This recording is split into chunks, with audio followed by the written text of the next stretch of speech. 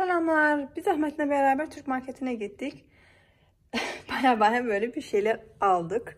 Şuradan şöyle sırayla başlayalım. Burada antep fıstığı var. Aslında bir kiloluk bir paketi görmüştük ilk önce. Ee, sonra gözümüz buna düştü. Böyle 5 kiloluk bir paket. Gördüğünüz gibi.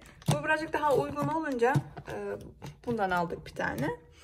Ee, şu arka tarafta bakayım Efe Paşa'nın sucuğu var. Biz bu e, sucukları çok seviyoruz. Diğer markaları fazla beğenmiyoruz. E, burada bakayım pastırma var. Bunlardan aldık. Burada tulum peyniri var. Maalesef sadece böyle bir kiloluk şeklinde satıyorlardı. Bir zaman böyle daha büyük bir paket halinde bulmuştuk, görmüştük. Onu almıştık ama işte maalesef şimdi yoktu. E, peynir vardı aslında ama şunun tadını çok merak ettik. Onun için böyle iki tane de şunlardan aldık. Burada ayva var iki tane. Şunun altında köfte var. iki paket. 30 evet 30'du. Ee, 30 tane var tanesinde. Ee, şu arka tarafa geçelim. Burada Ahmet bunları çok seviyor. Arka Arko markasından Aftershave.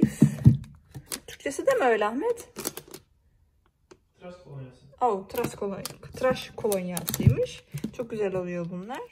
Onun yanında şu cipsler var. Yeni çıkmış. Ee, Ülker'in tırtıklı cipsleri. Çok küçük paketlerdi. 92 gramlık. Ama tanesi 1 euro 25 centti.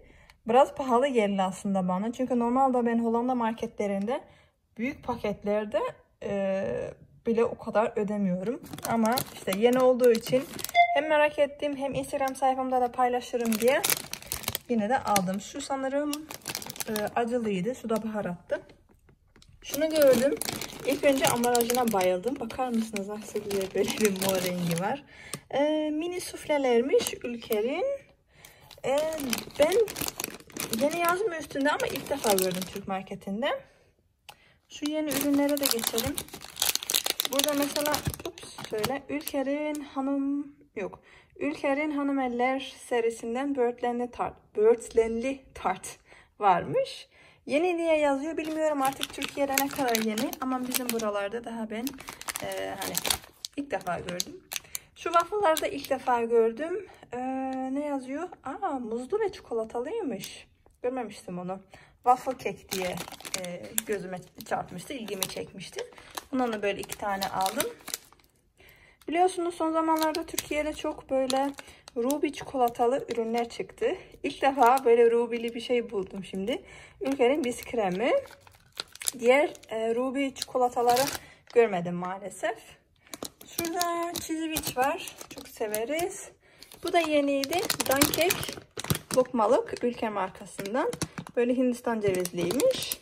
Bunu merak ettim. Bunun altında da çorbalar var. Böyle acil durumlarda bulunsun evde diyor. Bu Ezegel'in ve şu hangisiydi? Kremalı tavuk çorbası. Ben aslında kendim çorba yapmayı daha çok seviyorum ama işte bulunsun evde. Burada da Ülker'in Haley çikolatası var.